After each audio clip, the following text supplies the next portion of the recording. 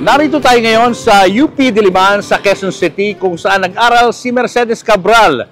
Lingid sa kalaman ni Mercedes, dito pala magsisimula ang magandang takbo ng kanyang buhay at karera bilang isang magaling na aktres. Pero bago yan, subscribe muna kayo sa aking channel at kay Christine Babos channel. Natawa ko dun sa isang comment na kinakahiya, kinakahiya ka namin na taga dito ka kasi nire-represent mo yung mga kabit. Oh my gosh! Grabe, no? Parang ang sa akin, Oh. minsan hindi nila naiintindihan na it's just a character, na hindi yun yung personality ko, hindi ako yun. Most Ah. of the things na naririnig ko in person is ganun, alam mo, pag napapanood kita, gustong gusto kita sampalin, kuhang-kuha mo yung inis ko, pero pa-picture ah.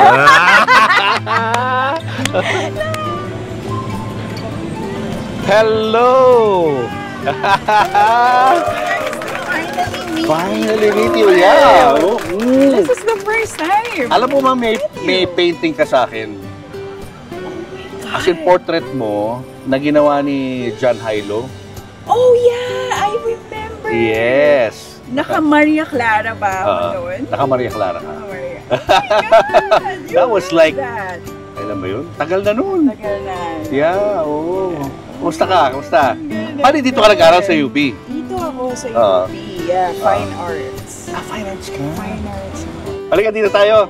Uh, Guys, Hi, kasama na natin ang most hated character on primetime television, Miss Mercedes Cabral. Hello!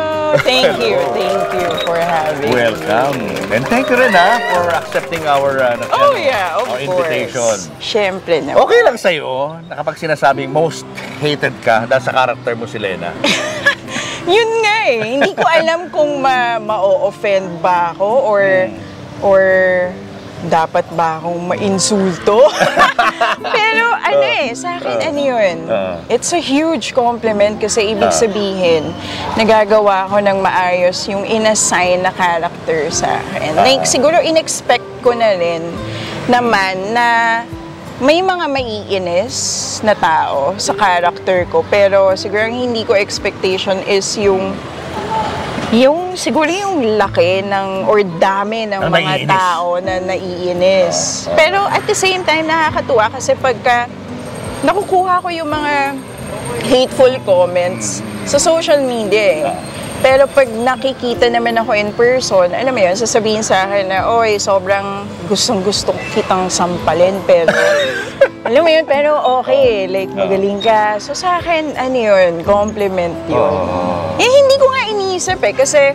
I remember, si Direk Malu, si Villa, tinanong din ako eh na anong, anong pakiramdam or anong anong nararamdaman ko pag ganun, like okay ka lang ba na nanginis sa'yo yung mga tao. Tapos sabi ko, yeah, like it's, it's, it's fine, I guess. Kasi nga, ibig sabihin, nagagawa ko naman, hindi ako nag, nagre-reklamo kasi I think yung ibang actors ata parang nag, nagsasabi din pag masyadong masama na yung, yung character nila, di ba? Parang ang concern nila is pwedeng, alam mo yun, bait na naman ng konti para, alam mo yun, like, la- para naman hindi maging, alam mo yun, like, hateable Ah, talaga. ah. So sa akin, parang wala eh. Like, kailangan yung character na, ka- kailangan yung character ni Lene eh, Ah, sa story. eh. Siya yung gumagawa kasi ng conflict, di ba, sa, sa story.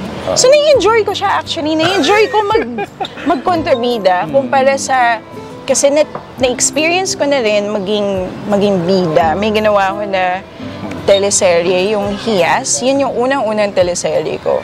Nakakapagod din siya kasi siguro like portraying a, a bida din um, ang bigat, like emotionally, parang yung demand niya, like kawawa ka, alam mo yun. Mm. Yung demand na iiyak ka, ganun. Oo. Ah. Pero pag kontrabida, na, na-realize ko, parang, wow, Powerful. saya pala na ano, ang saya maging ilalabas mo yung sama, alam mo, yung kasamaan. Pero first kontrabida role mo yan. Before ba, nakapag-kontrabida ka na rin? Before may ginawa ako na kontrabida din, yung Huwag Kang Mangamba. Ah. So, kontrabida din yung role ko. But at the end, nag-iba din yung character ko eh. Nagkaroon siya ng shift. Bumait din siya. Pero yun nga, sayang kasi namatay yung character nung nagbago. Saka siya namatay. Pero na-enjoy ko. Like, Saka pinapanood ako movie mo, yung ano, yung... Yung nilason mo yata, yung lahat Yung ng... apag, Oo, yeah, yung okay. sa apag, no? Yeah. Medyo kontrabida ka doon, no? Medyo. Tapos yun din eh. Okay din kasi Oo. nagulat ako na, uy, wala pala akong linya dito. Kasi Oo. ganun, working with Direct Brillante Correct, kasi, oo. hindi siya nagbibigay ng script. Hmm. Hindi siya nagbibigay ng script. So, hindi, as as an actor, hindi mo alam yung buong story. Ibibigay lang niya yung character mo, and then kung ano yung story ng character mo, and kung sino yung involved sa character mo. So, wala kang idea anong anong storya nito, ano yung buong ano yung buong storya. So, nagulat ako kasi parang pinapatayo lang niya ako. O, ito, ito lang gawin mo. Tapos, wala ba akong sasabihin? And then yun nga, wala, wala, wala yun. Hanggang sa natapos na yung pelikula. And then nung natapos na, doon ako nagka-idea na, ah, yun pala. Wala. Kaya patingin-tingin ka lang, meron ka palang role na gagampanan. No? Na vital pala siya doon sa story. Pero sa Batang Quiapo, may rehearsal to. As in talagang pinag-aaralan yung mga, ano, mga scenes. Yes, like pinag-uusapan, pinag-uusapan talaga namin. Once na nasa set na kami, mag, ah, mag-throw lines kami, mag mag-script read kami, and then pag-uusapan kung paano gagawin, like kung may adjustment din yung lines, like um, siguro mas better kung ganito sasabihin. So may mga changes na nangyayari din. At the same time, saka namin i-rehearse or iba-block yung eksena. So pag may mga physical like element like sampalan, yung mga ganun, Oo. kino-choreograph muna siya bago namin gawin. Kasi syempre yung safety ng mga artista at the same time, um, mas maganda na one take or alam mo yun, like less takes para la- para kasi totoo yung mga sampal eh. Mas Totoo? effective kasi talaga. Ang hirap kasing dayain eh. Tapos hindi siya ganun ka-effective tingnan. Parang hindi siya ganun ka-impact. Or wala masyadong impact kapag ka pinipeke. So it's, ako, I prefer na pagsampalan or Totoo. sakitan, mas gusto ko yung totoo kasi nakakapag-react din ako eh. 'Di ba? Kasi nga acting is reacting. So pag Right, right. pag peke yung sampal sa akin, parang mas nahihirapan akong i-arte. Parang mas gusto ko na tutuhanin para yung emotion ko rin na natitrigger din talaga ako. And then totoo yung emotion na, na ilalabas ko. And mas effective yung yung nangyayari sa eksena. Si Ma'am Charo, nakasampalan mo rin. Si Ma'am Charo, As in, sinampal yes. mo si Ma'am Charo? oh, na nakakaano, nakakailang. Hindi ko yata kaya yan. Ah, oo, yan. Yan, Oo. nung nalaman ko. Oo. Nung nabasa ko rin yung script, parang sinabi ko rin dun sa director eh, na talaga sasampalin ko si Ma'am Charo yan, ah, oo. sasampalin ko. Oo. Tapos sabi niya, hindi po, kailangan po kasi talaga. So, even si Ma'am Charo eh, ingat din, syempre. Mm. Ayaw din niya ako masak... Ayaw namin magkasakitan, syempre. Pero, wala eh, kailangan talaga. So, ano eh, like, ang dami niyang sampal. And then, minsan pag ano, nadadala ka na rin, hindi mo na rin alam eh, yung nangyayari. Pero, I remember na, na hagip ko rin siya, na, na, na ano ko rin. Wala eh, mawawala ka na rin sa, because of the emotion din eh. Pero naalala ko after that, as in nanginginig talaga ako. Tapos niyakap niya ako kasi after doing that scene, grabe yung iyak ko. Kasi feeling ko yung yung emotion kasi na kailangan is galit. So yung, alam yun, yung pag naipon yung galit, tapos kinocontain mo yun eh. Tapos hindi mo siya mailabas talaga, like fully, parang you have to control it.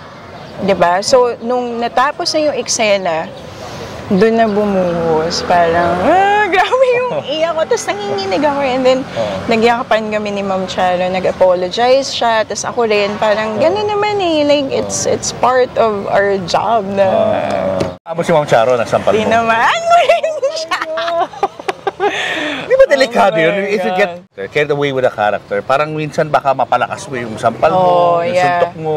Yeah, there are times Oo. na Pero, yun eh, naaalala ko naman for that, hin- Oo.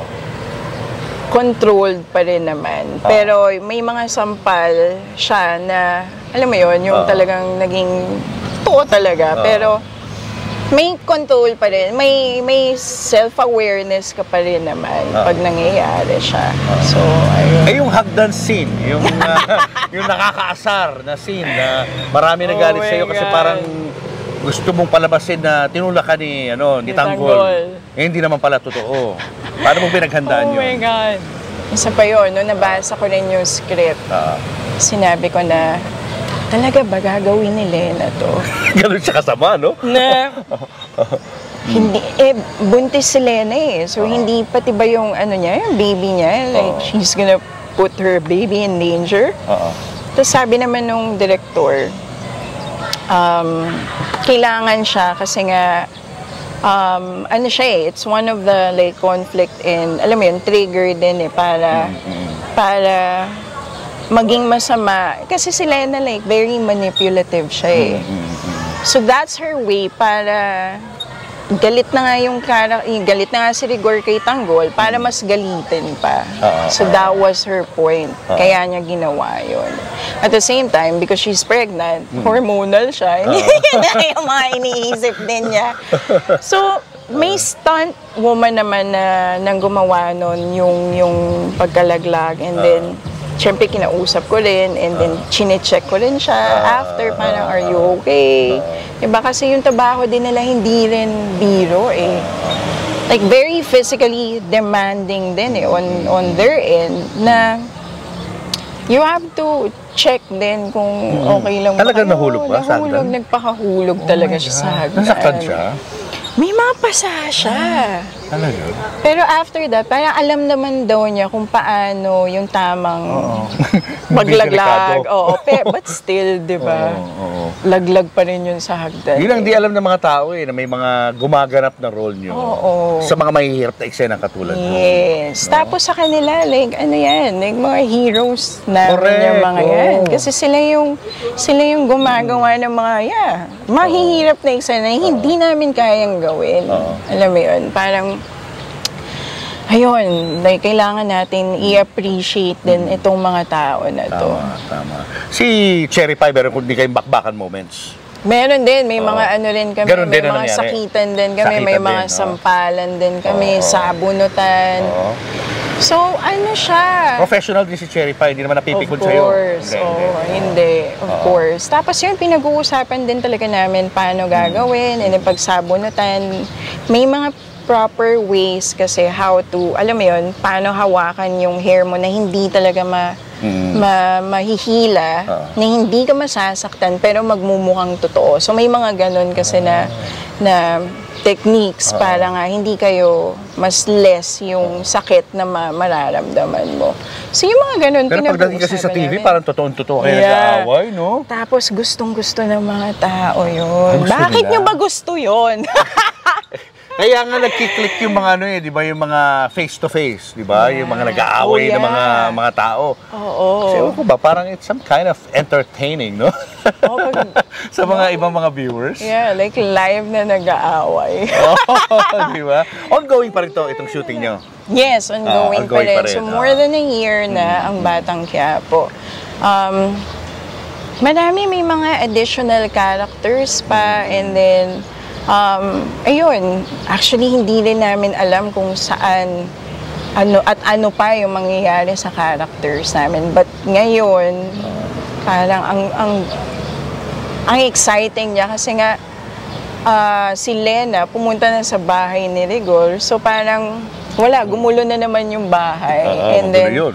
Mm. gumulo yung buhay, mas gumulo yung buhay ni Rigor. Si Rigor talaga eh, no?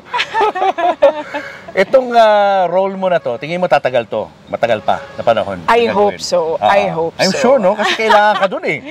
Kailangan, Pag wala oo. ka dun, hindi ganun ka-exciting. No? Oh, yun nga. Tapos may mga tao na nagsasabi Hmm. na kailangan alisin na yung, siguro dahil sobrang naiinis ka sila, Oo, oo. kailangan alisin na daw yung character ni Lena. Tapos Oo. Iniisip ko, pag wala kasing kontrabida sa story, Oo.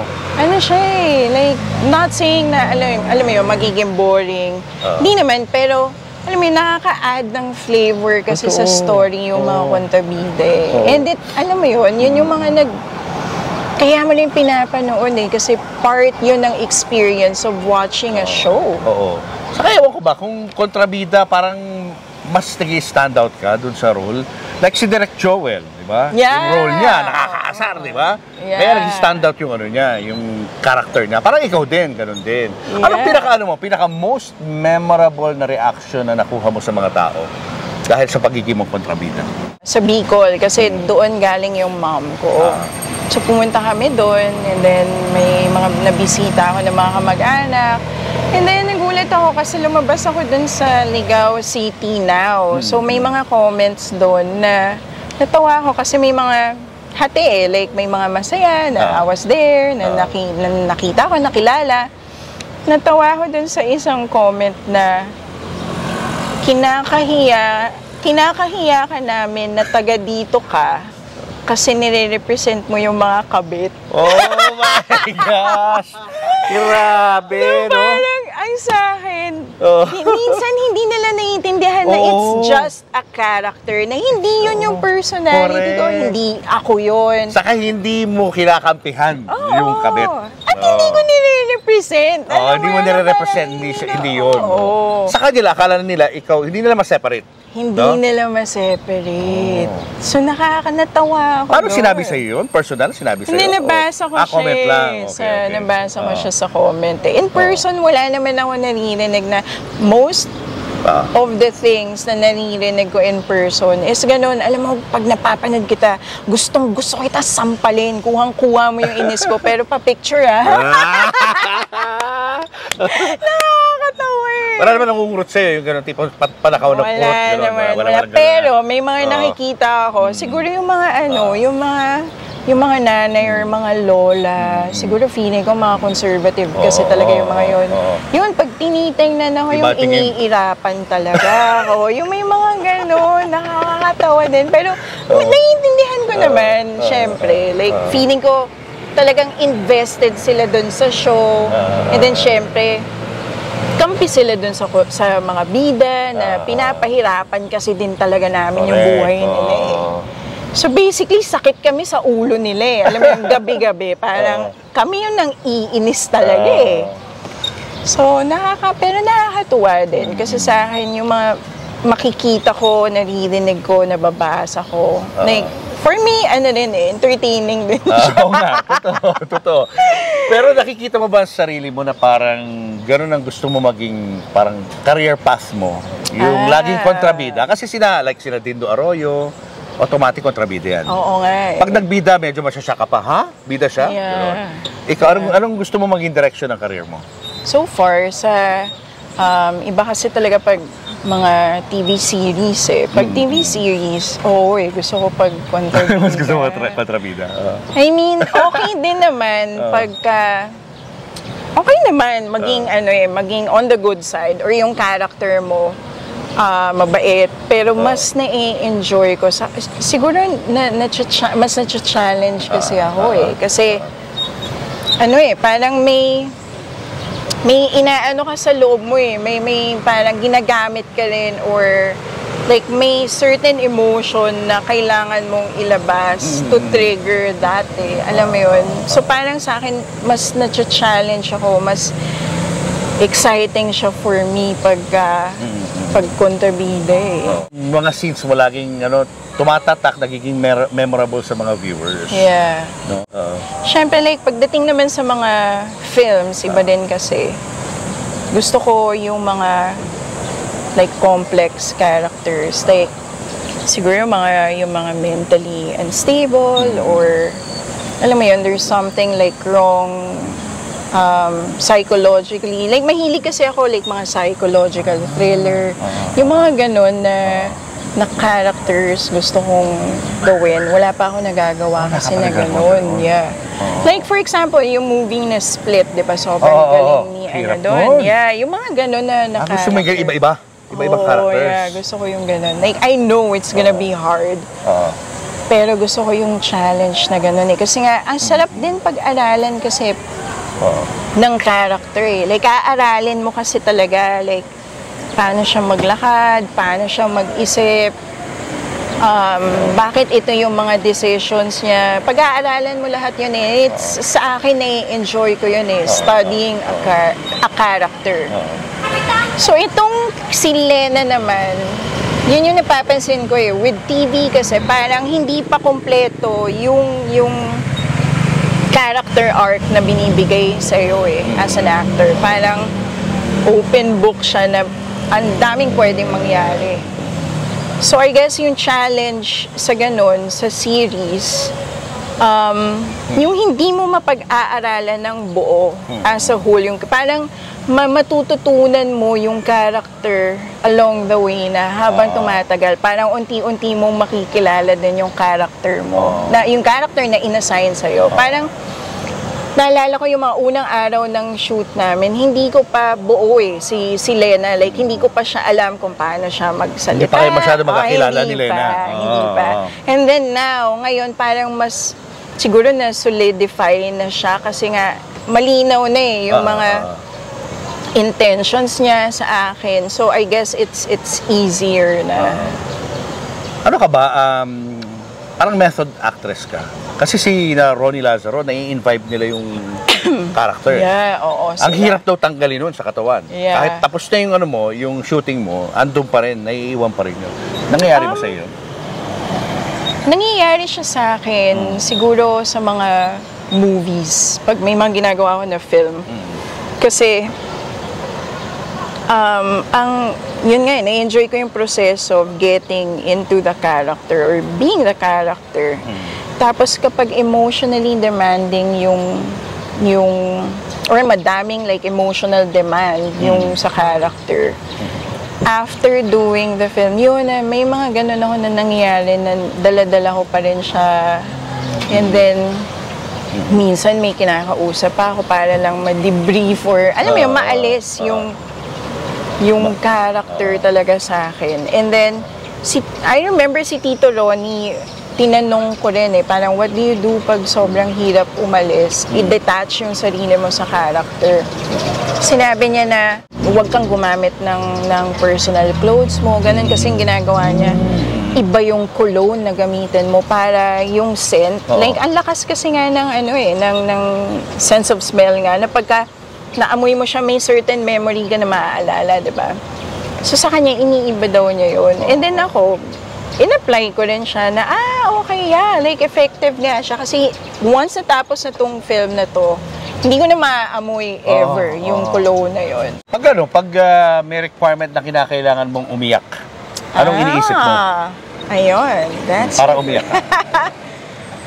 Depende. Kasi, syempre, may mga times na may mga times na madaling araw na, di ba yung pagod ka na rin talaga. So, wala ka nang, wala ka nang ma- mahuhugot. But, um, pag kailangan talaga, may mga ano, may mga techniques naman how to do it. Like, for me personally, may certain songs or music ako na pinapakinggan na ano ko siya, like trigger ko siya. Once sa pakinggan ko na siya, nararamdaman ko na yung emotion agad. Tapos maiiyak na ako. Kasi ano siya eh, like may nababalikan ako na memory, like something like very sad sa bumabalik ako doon. And then yun, nagtitrigger siya ng, ng emotion sa akin. So, ganun yung ginagawa ko. But at the same time, sinasabi din sa akin, parang, dude, like, trauma yan, tapos hindi ka pa rin nakaka-get over. Andun pa rin, no? Yung, Ah, yung yeah. music, no? Oo. Yeah, and then, pero pagka, But it helps you in your career. Oo, yeah. Diba? Kasi mas mas maganda na, alam mo yun, yung totoo yung emotion na ibibigay mo eh. Oo. Like, kitang-kita din kasi, and mas effective siya, at mas nakakatulong sa eksena pag totoong emotion yung binibigay mo. Like, pero may mga times kasi talaga na hindi ka na makaiyak. May mga may mga parang pandaya din, Ah. how to cry, alam mo yun. Pero syempre parang, ano na yun, like last resort na siya, pag ubos na ubos ka na sa kapagod na pagod ka na talaga. Nangyayari talaga yun minsan. Hindi mo, hindi mo talaga talaga umiyak yun minsan. eh. Yeah, as in, siguro yung pinaka, ano, nangyari sa akin, pagod na pagod na ako. As in, wala na, blanco na ako. Oo. Wala na ako. Like, exhausted na talaga ako mentally, physically, emotionally. Wala. Ano na, ang ginawa ko, nang hingi ako ng wala kasing may Vicks sa set, nang hingi ako, alam mo, toothpaste. Tapos, Sang ginawa ko, kumuha ko ng maliit, Oo. sobrang liit lang. Ginanan ko talaga sa mata. Alam mo yun, minty siya. Oo. Tapos nakaganon lang ako, para lang lumuha. Kasi hindi ko na rin talaga kaya. oh, toothpaste ha? Toothpaste. Kanya-kanya talaga mga methods, no? I Kung know. ano-ano mga methods Iba-iba pwedeng gawin, no? Yeah. Oo. Desperado na rin ako nun eh. Sino mga ano mo? Sino mga ina-idolize mo na mga artista? Tito Ronnie, like Ronnie Lazaro, like I'm I'm lucky. Galing nun. I'm really lucky na, Galing nun. na makatabaho din siya, makilala, and alam mo yun, maging kaibigan. Si, Si- Pen. Pen Medina. Pen, oh, mahusay din. And Oo. si Tito, ano rin, Tito Noni Buen Camino. Oo, magaling. Yung unang teleserye ko, siya yung naging tatay ko. And then I Ah. was like, Siyempre, unang TV ko yun eh. So, kinakabahan din ako. And then, ang dami kong natutunan sa kanya. Kasi Ah. he's very, like, generous din. Nagtuturo din talaga siya.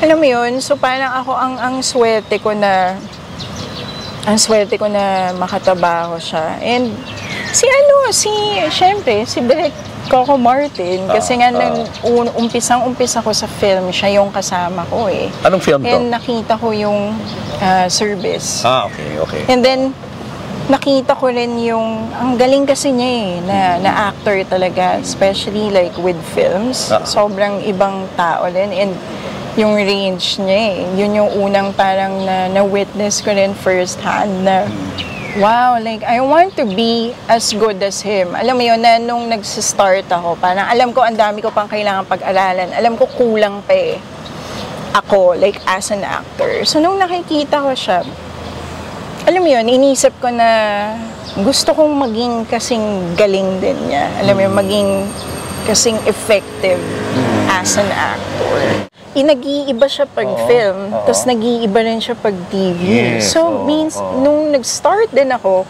yun yung napansin ko na ang hirap mag-switch, like from film to TV. Mm. Nahirapan ako kasi with TV medyo hindi naman exaggerated, pero mas malaki kasi. Like, yung delivery mo dapat mas i- Exage ano, ng konti. Mm. exage ng konti para makita din agad and marinig.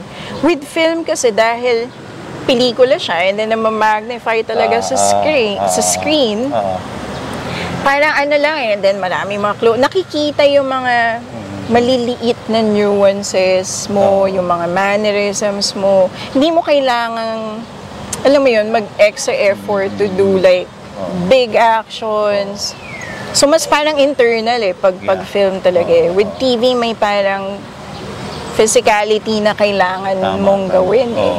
So, yung switch na yun, na nung una nahirapan ako kasi ang ginagawa ko daw, nag-film acting pa rin daw ako, which is kulang nga. So, parang kailangan ko pang i-deliver na mas malakas. Oo. oo, So, with oo. Direk Coco Martin, kuha na niya yung, siguro, sa tagal na rin din kasi Oo. niya eh. Yeah.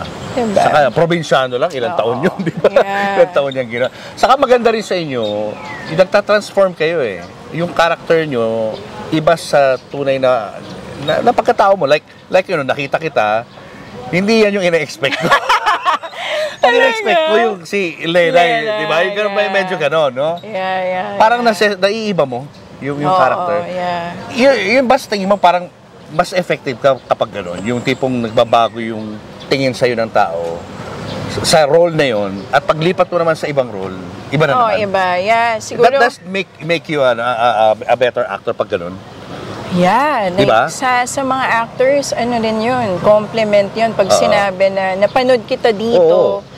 And then Iba ka. napanood ko yung yung ganit ganito yung ginawa mo naman sa isang movie or Oo, or oo. series, ibang-iba ka. Like Oo. sobrang ano yun, like sobrang sarap pakinggan Oo, nun as an oo. actor kasi ibig sabihin napa, nakikita nila yung range mo rin, Oo, 'di ba? oo. Saka na, na naiiba yung Oo. ginagawa mo at hindi lang pare-pareho. Kasi nga 'di ba, yung mga characters naman na ina-assign sa amin, iba-ibang mga tao din yan. Right, So oo. kailangan mo din talagang Mag-iba. ibahin. Kailangan mo din talagang Kasi may mga mag-iba. artista na pag gumanap sila sa isang role, tapos pag ah, sa ibang role na naman, pare pare-pareho. Yeah. Hindi nagbabago. Ang Ganun pinaka, o ang isa pa na, na nakita ko na nakatabaho ko rin na talagang ang galing. Ang galing niya mag-iba-iba ng character. Si Moon Confiado. Oh, Tapos iniiba niya, even his hair, willing siyang i-shave. Alam mo yun, like, para mag-iba talaga. Very, ano siya eh, like, conscious and gusto niya nag-iiba siya physically din Oo, talaga. oo. And then the way he walks, kung paano siya magsalita, ang galing niya. Like, iba. Tapos ibang-iba din siya in person. Alam mo yun, as like, real Mon Confiado, ibang-iba talaga siya. Kaya, may mga ganun na actors na na-amaze ako kasi, wow, like, talagang, alam mo yun, like, that's, like, an effort talaga to do those things eh. And, iba yung pupuntahan mo rin mentally eh. Kung Ah. para magawa mo yun and ma-achieve mo rin yun eh. So, yeah. Ang Celia, di ba? Ganun din. Oo, yeah. Nag-iiba yeah. rin, di ba? Yung, rin yung mga characters. And very ano yung ano nun ah, yung um, screen presence ng mga actors na yan. Lakas, no? Yeah, sa kapag yung, alam mo yun, tumungtong sila sa set, yung mararamdaman mo rin talaga yung mararamdaman mo yung presensya nila eh. Without even like really doing anything, naglalakad lang yung in character na agad, tapos ramdam na ramdam mo, parang wow, ang galing. Sa Pilipinas ba, ano, kailangan din ng mga babae naman yung parang pinakabida? I, I think naman mer wala lang ako maiisip like Ah, right now on top ah, of my tama, head. tama. Pero I'm sure may mga pelikula din naman na, na gano'n, na Right, ah. nagli-lead din yung mga babae. And gano'n din, at nabibigay din ng gano'n, like iba-iba din. Yeah. Nakagawa ka na rin ng mga ano, international movies. Meron, may ginawa ako na film. Um, yung unang international ko is yung Thirst, directed by Park Chan-wook. Hmm. So, yun ang unang international film na nagawa ko. So, nag-shoot ako sa Korea. And then, hindi ko nga siya kilala pa. Kung, kung eh, nag-uumpisa pa lang ako noon, hindi ko siya kilala. Wala akong idea sino si Park Chan-wook. And then, nag-audition, nag-send ako ng audition video for him. Tapos, naka-receive ako ng email na, o, tanggap ka na, ganun. Saka ko siya ni-research. And then, ang unang film na pinanood ko na ginawa niya is Old Boy. Natakot ako, parang, shit, ito yung makakatrabaho ko. Oh my God, kasi sobrang husay niya. And then, may ginawa ako sa Denmark. Nag-lead ako sa isang film. Rosita yung title naman. So, um, sobrang memorable sa akin nun kasi ang dami kong natutunan with my director and yung mga co-actors ko. So, iba yung sistema din talaga outside the Philippines. Like working. As in doon, ano eh, 8 hours lang kami mag, Oo. mag-shoot. Dito kasi 12 to 14 hours. But now, it's very strict. So, nakakatuwa naman sa set ng Batang Quiapo. Very strict talaga sila. Like, 12 hours, 12 hours lang. For, kasi kaya naman pala Correct, eh. correct. Oo. Kaya naman pala. Before kasi, di ba, more than 24 Oo. hours. Grabe noon Oh eh. no? God, yeah. Balikan lang natin yung ano mo, yung, yung beginnings mo. Paano ka nag-start sa movies? Fine art student ako. Okay. So, Dito? yun kasi yung hilig. Yes. Ah. Yun kasi yung hilig ko eh. Magpinta, mag-drawing. Oo. And then, um, kailangan kong tumigil muna mag-aral. Hmm. Tapos, um, ang unang trabaho ko is gumagawa kami ng murals. Um, under Alfred Galvez nga. Gumagawa kami ng mga murals. And then, Nag-start ako mag-model for him. Actually, parang siya kasi yung gumawa ng naked art dito sa Philippines din. Or naglalabas siya ng gano'n. So, basically yung mga models, nude but not totally kasi may mga may mga nipple tape, Mm. nakatong, ganun. Pero ano, like covered with body paint Mm. and art yung katawan. Mm.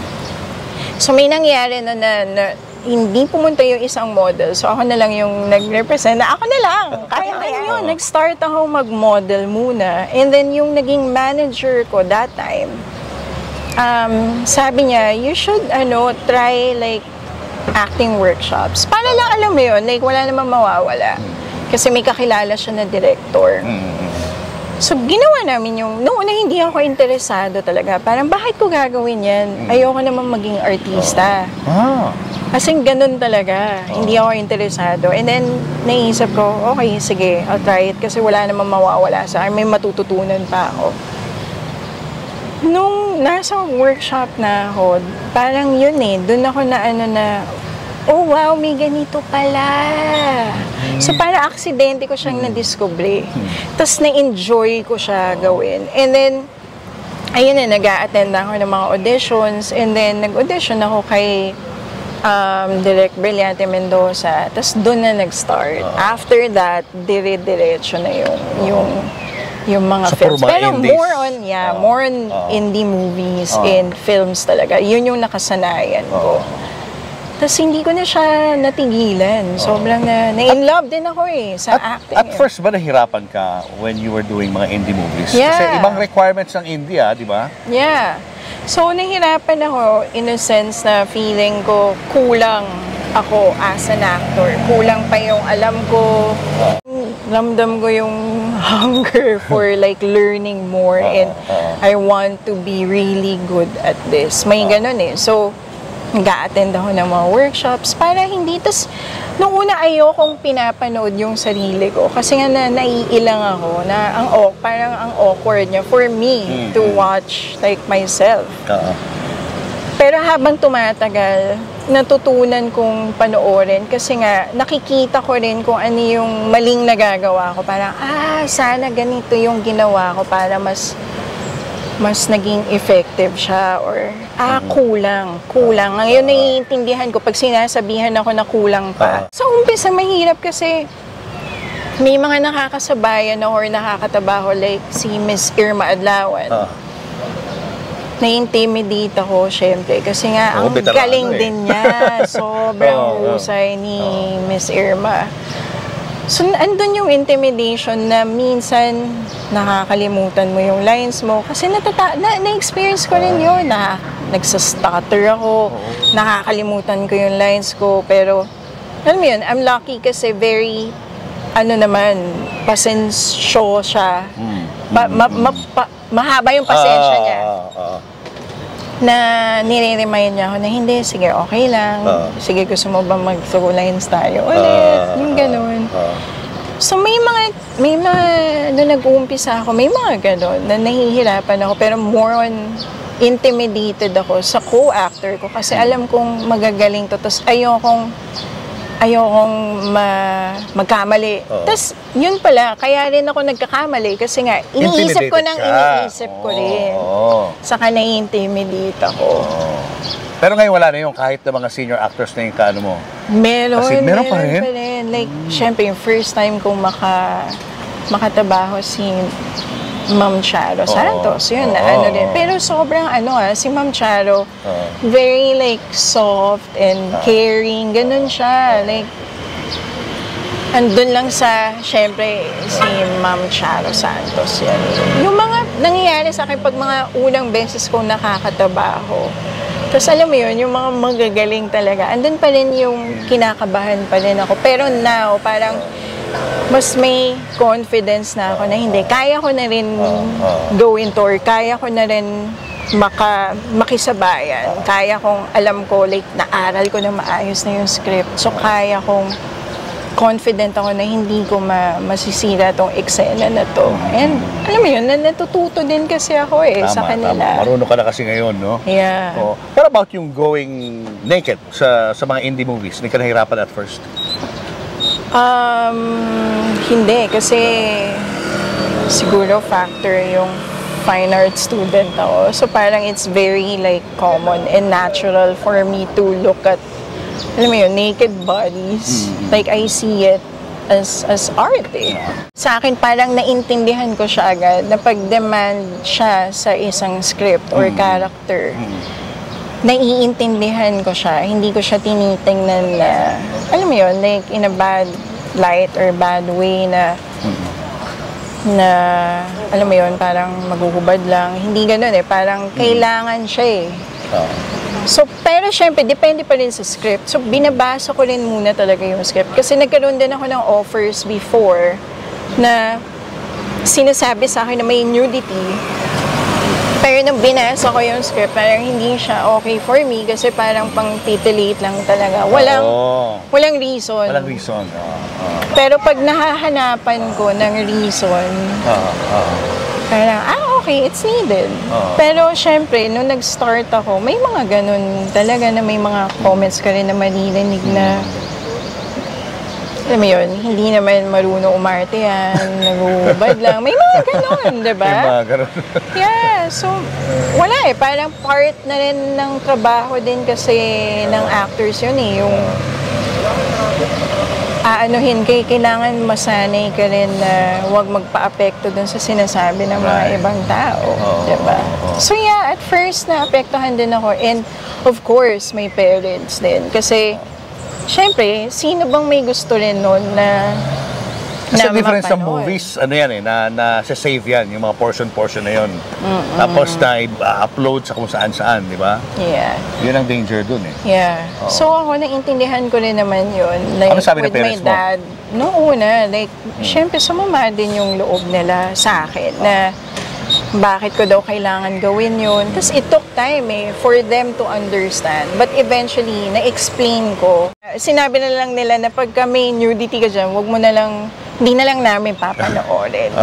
so eventually, naintindihan naman nila na kailangan siya, tapos ine-explain ko na pinipili ko naman eh. Hindi naman yan yung basta-basta lang na, na character. So eventually, naintindihan naman nila. Pero naiintindihan ko rin kasi nga tatlo kami magkakapatid. Ako lang yung ako yung gitna. Ako lang yung babae. So syempre, di- 'di ba, like as a father, sino bang may gusto rin noon, 'di ba? Naiintindihan ko rin naman siya. But at the same time, I'm lucky kasi parang hindi hindi naman makita yung utak ng dad ko na alam mo yun pagbabawalan kasi alam niya na ito yung gusto ko eh or ito yung nagustuhan ko eh oh, and he's very supportive and I'm very lucky to alam mo yun have him as a as a dad What about your mom? Ano sabi? Oh, mom ko, ganun Okay naman. din. Okay din with my mom. I'm lucky with my parents kasi ve- hindi namin na-experience yung pag sinabi namin na, alam mo yun, yung, ito yung gusto namin pag-aralan, walang ano, walang ano sa kanila, hindi dapat mag-doktor ka or hindi dapat mag, maging dentista ka or teacher ka or y- walang ganun. Ah, ito yung gusto mo, sige, suportahan namin kayo. Yung ganun, like, walang walang force. So, Oo. yung pagiging artista, obviously hindi mo to talaga inambisyon, no? So nung bata ka pa, ano talaga yung gusto mong maging trabaho?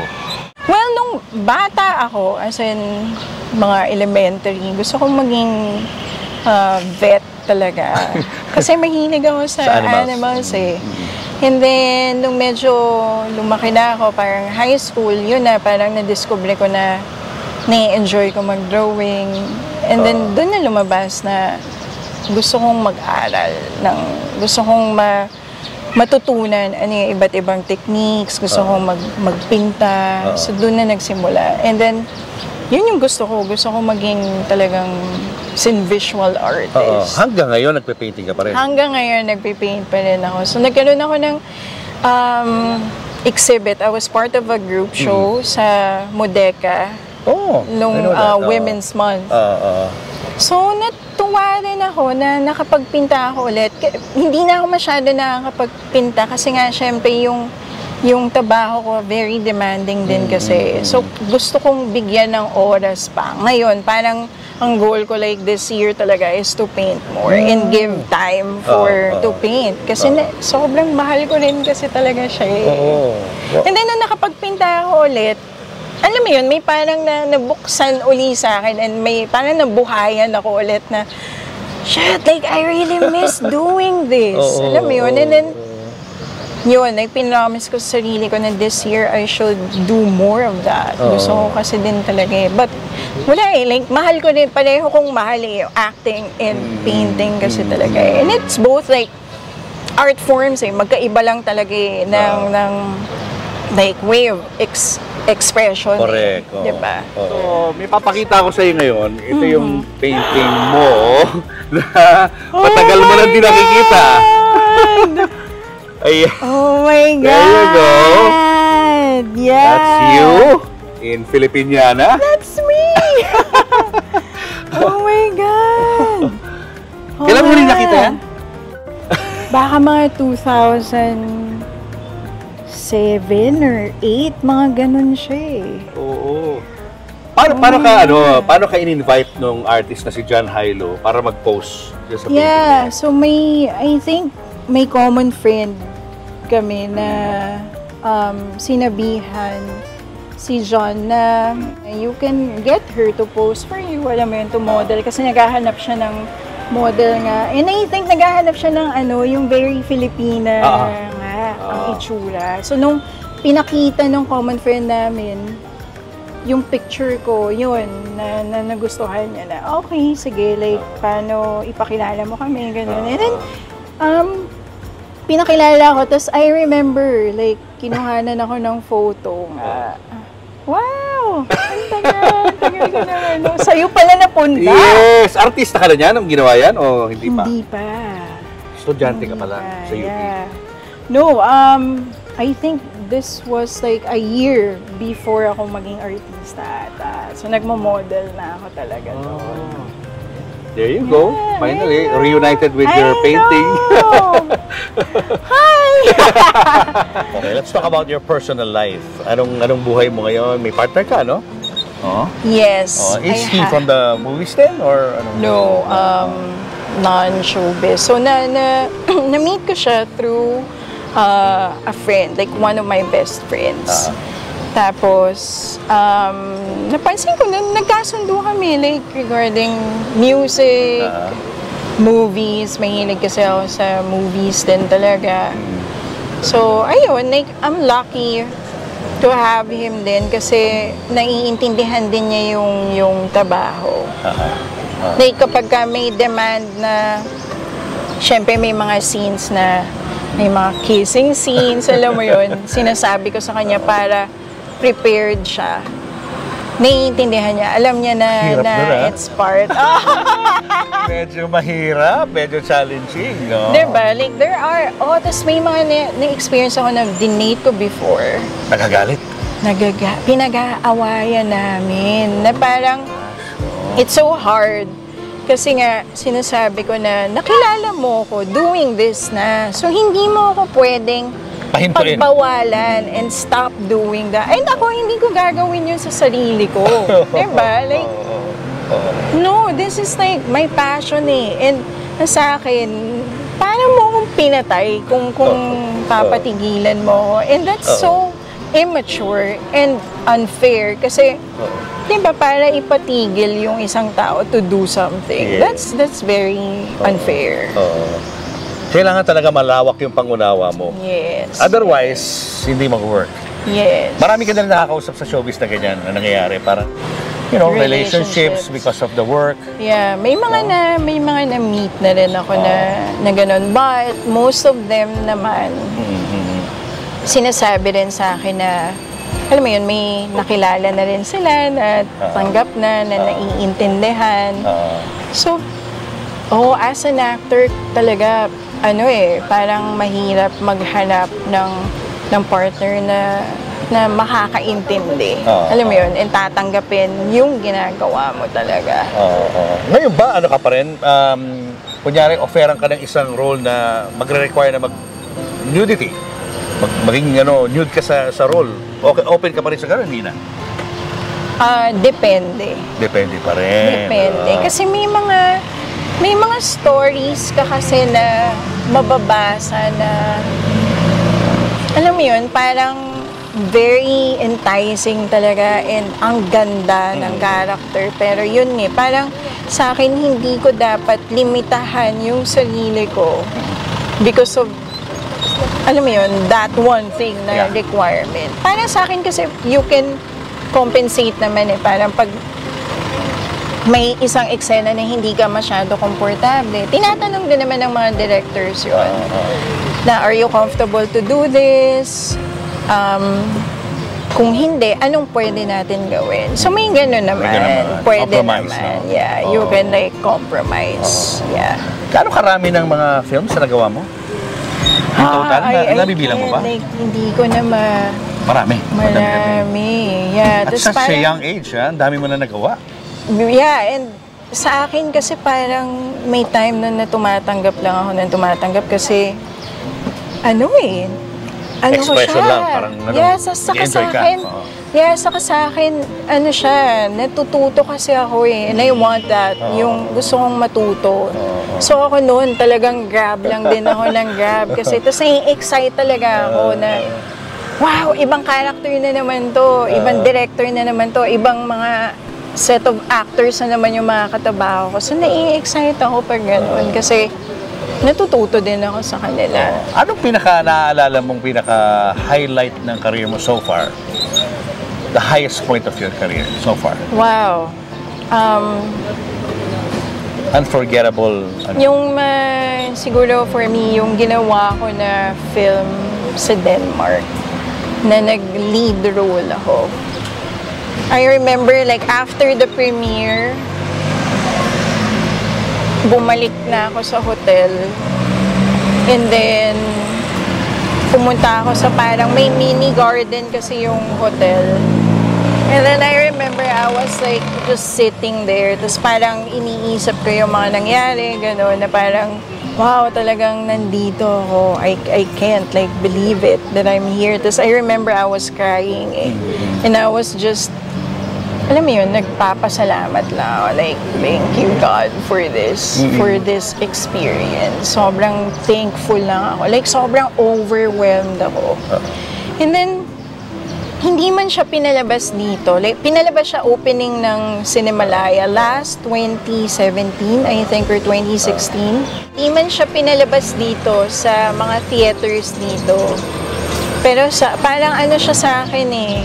Parang, that was for me, alam mo yon as an actor. Parang, hindi naman ako humahanap din ng, alam mo yun, parang recognition from here. Alam mo yun, but it would be nice, di ba? Pero parang sa akin, mas more on personal talaga siya eh. So sa akin, tas yun, yun. Sa akin, pinaka-highlight ko siya kasi ako yung lead role eh. Tapos, international film pa siya. Kapag gano'n ka na, di ba? Na kapag Cannes Festival ka na. Yes, Lucky to? with um, Direct Brillante. Yung yung service and yung kinatay. Oo. And then yung kinatay, that year, para magkasunod kasi na year yun eh. With kinatay, ah syempre, nirepresent namin yung Philippines. Kasabay nun, yung Korean film na kasama din ako, Thirst.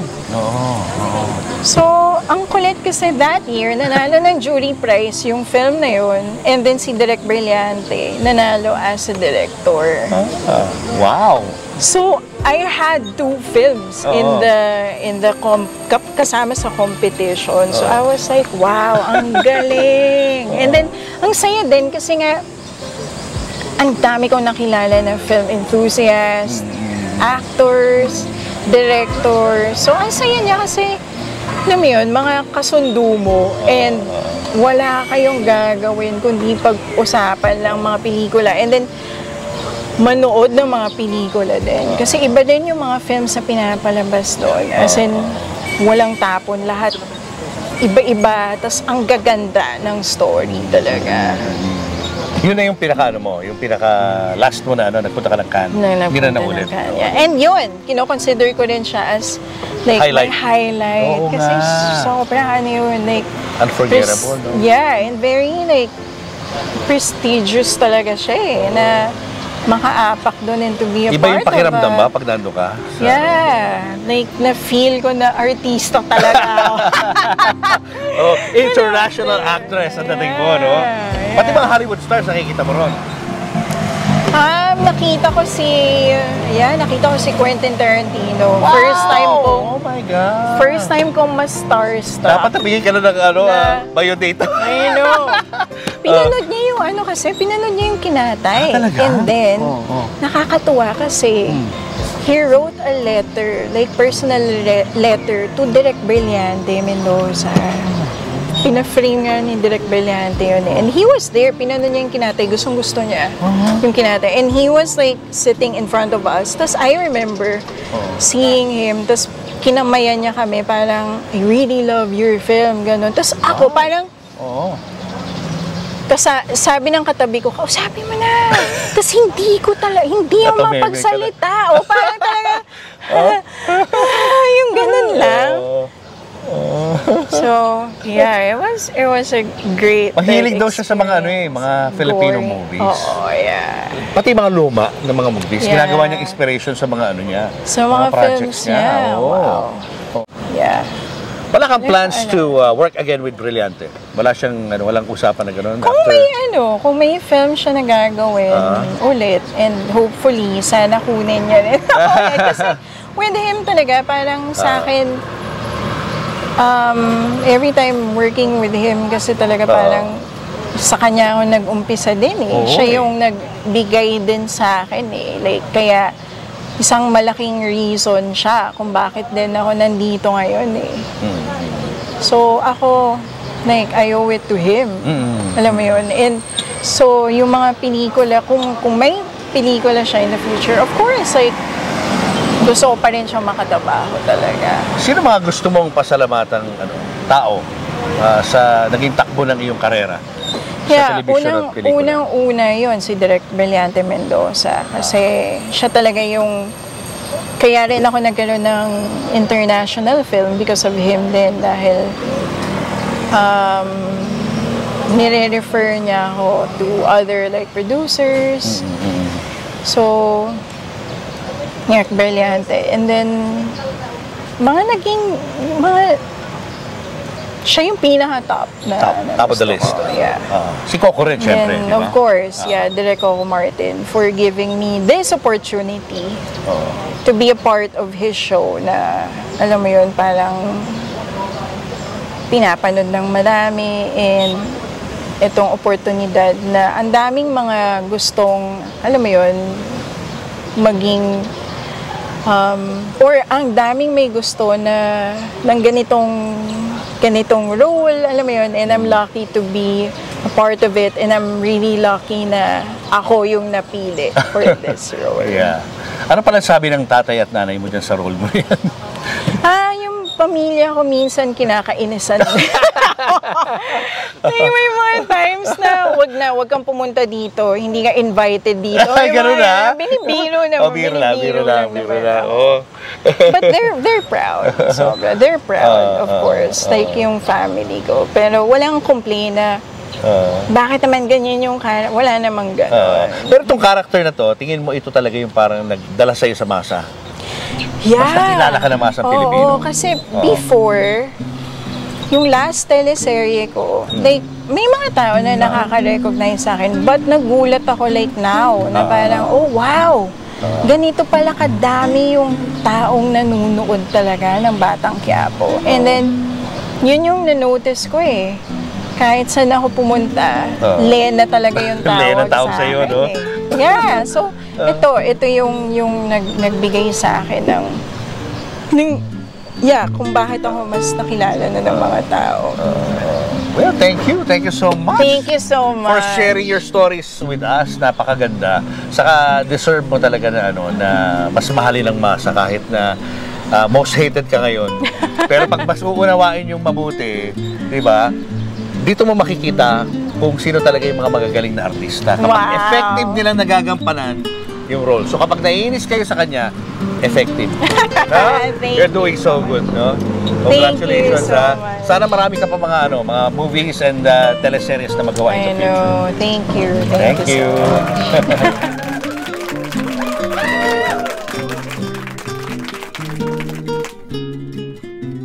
Rosmar, ginagamit niya talaga yung mga produkto niya. Yes. Ayan na yung papaya ba yan? Yes po. Yan. oh, So, ayan. konti-konti So, lang paano ba, tubig. pakita mo Lisa, paano gamitin? Oh. Basta ano lang Oh, po, hilamos feeling. Alam niyo ba, binabasya ko kasi barubal daw po ako maghilamos. Parang talagang, ganun ako maghilamos. Ay, di ba tama naman na parang minamassage mo yung face mo? Ayan, oh, lalagyan Ayan. natin ng sabon. Si Rosmar na walang takot makita ang bare face niya. Hindi ho lahat ganyan.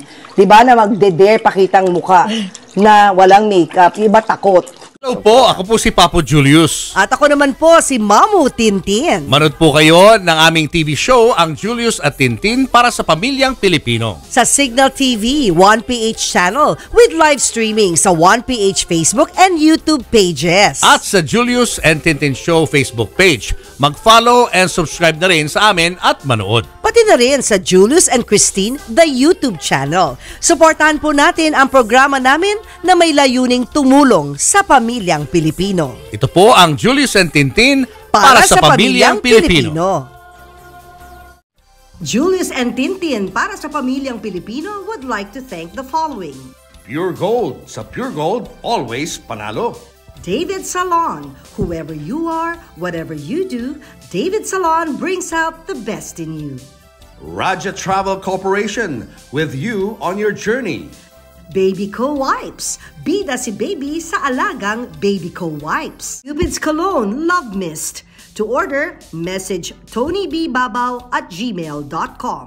Enagic from Japan. Kangen Water Machine. Goldmine Rice. From farm to market. Be a rice distributor to wholesalers, retailers, and consumers. Open for franchise.